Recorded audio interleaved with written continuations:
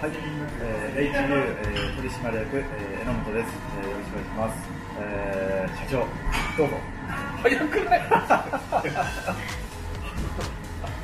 えー、社長、えー、代表の中田です。中田匠です。よろしくお願いします。えー、インターネットが普及して、外食産業のあり方っていうのが、ここの10年でものすごく目まぐるしく変わってきて、この先10年、20年、人口減少していく時期っていく中でどうなっていくんだろうって、すごい考える。で、俺たちが大人になって60、70になって幸せになっているためにはどうしようそんなところを突き詰めた。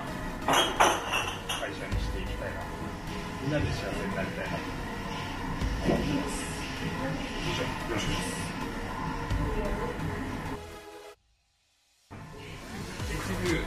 株式会社代表取締役社長中田匠と申します、えー、日本酒の専門店やってます。